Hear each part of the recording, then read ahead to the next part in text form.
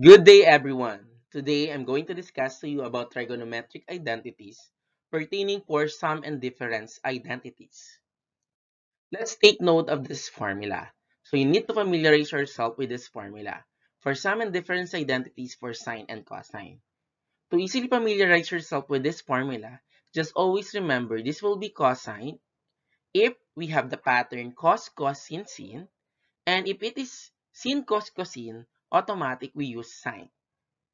If the operation in the middle term is plus, automatic we're going to subtract a and b for cosine. And if the operation in the middle term is minus, automatic we're going to add a and b. However, for sine, we're going to use as is. If we have the operation minus on the middle term, automatic we're going to subtract a and b. However, if it is plus, automatic we're going to add a and b. Let's try an example. For instance, we have cos 80 cos 20 plus sine 80 sine 20. Since it follows the pattern cos cos sin sin, automatic we have cosine. Now, since the middle term is or the operation is plus, automatic we're going to subtract a and b. Our a is 80 and our b is 20. 80 minus 20 is 60. Therefore, this is equal or the same with cos 60 degrees. Or, if we're going to simplify cos 60 degrees, we already discussed this, cos 60 degrees is equal to, very good, that is equal to 1 half. Now, let's try another example. Cos 30 cos 35 minus sine 30 sine 35. Again, it follows the pattern cos cos sin sin. So, automatic, we're going to have cosine. Then, since the operation on the middle term is minus, or therefore, we're going to add a and b since it is cosine. So, 30 plus 35 is 65. So, therefore, we're going to have cos 65 degrees.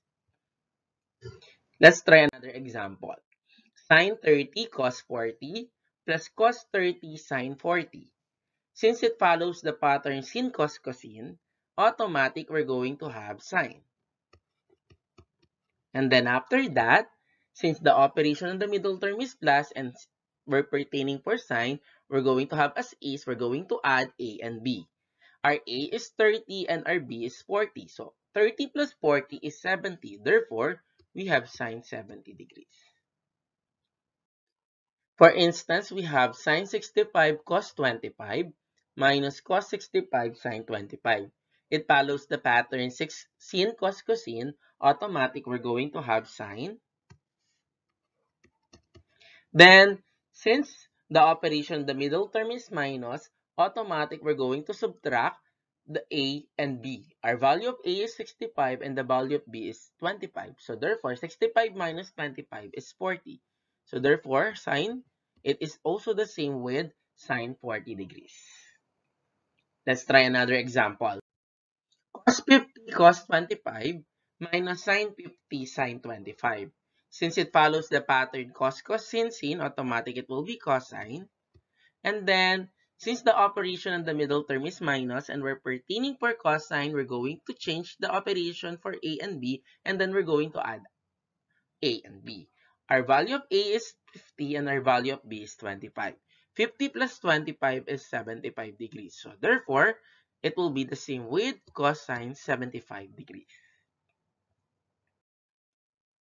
Apply the sum and difference identity for sine and cosine in determining the exact value of the following.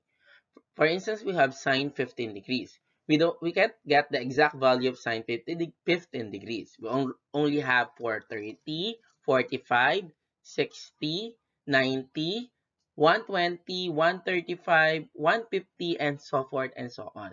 So if we're going to take a look, we, we can get the value of 45 and 30 degrees because if we're going to subtract that, that will result to 15 degrees.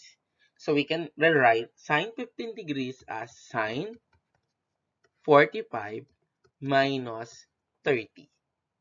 So the value of A is equal to 45 and the value of b is equal to 30. Now, since it is sine, we can rewrite this in the pattern sin cos cosine. And then we can get we can rewrite 45 and 30. 45, 30, 45, and 30. And then since it is minus and we're pertaining for sine, we're going to follow the, the operation minus as is. Now after that, we're going to get the exact value of each trigonometric functions. So we have, or trigonometric ex, um, expressions. So we have sine 45. The value of sine 45 is square root of 2 over 2.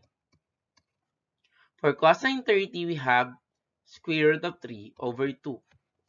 Bring down minus. The cos, the value of cosine 45 is square root of 2 over 2. And the value of sine 30 is 1 over 2. After this, we can now simplify. Multiply this fraction to this fraction, square root of 2 times square root of 3, square root of 6. So we have square root of 6 over 4 minus square root of 2 times 1 is square root of 2 all over 4. Since we have the same denominator, we can rewrite this into one fraction, square root of 6 minus square root of 2 all over 4. And this will be our final answer. Let's try another example. For instance, we have cos 105. We can get the value 60 and 45 degrees for cosine 105. So we can rewrite this as cosine quantity 60 plus 45 because 60 plus 45 is equal to 100, 105 degrees.